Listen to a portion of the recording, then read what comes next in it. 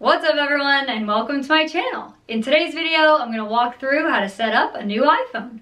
You really don't need to go to the Apple store or the Verizon store anymore to set up your new phone. You don't even need to call them.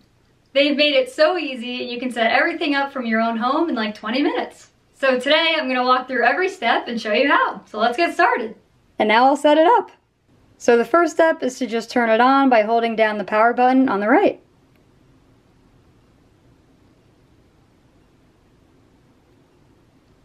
And now I'll go through some of the setup screens. So I'll just swipe up, choose my language, my region. I could make the text bigger if I wanted to, but I'll just leave it at default. And now I'll bring over my old iPhone, so all the information from my old iPhone can go onto this iPhone.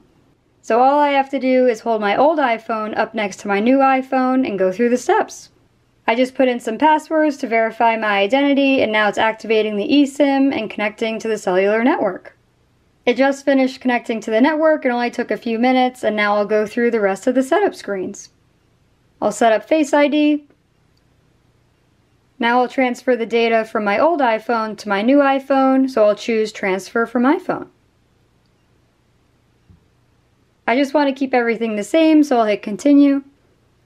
Continue again. I use Apple Maps, so I'll enable that.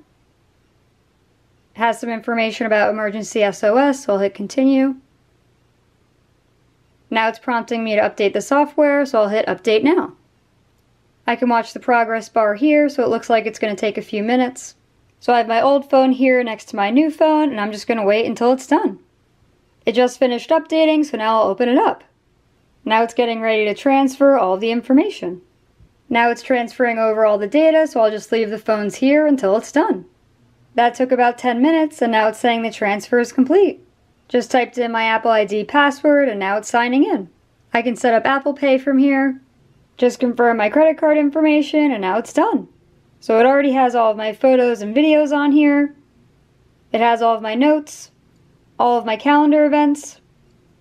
All of my emails are coming through, text messages, contacts are on here. I'm even signed in to all of my social media profiles, and all that took was like 20 minutes. Then this screen showed up on my old iPhone so I can erase everything if I want to trade it in or give it away. Before doing this, I'd recommend going through your new iPhone and making sure that you have everything on there that you need.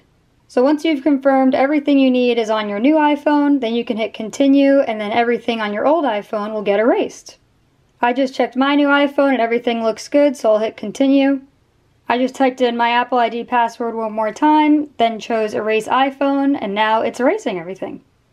It just finished erasing everything, and now it's ready to be traded in. That's it for today. Thanks for watching, and that was how you can set up your new iPhone from home. Let me know in the comments if you have any questions, and for all of my other iPhone tips, check out the playlist linked in the description below. And I'll see you next week.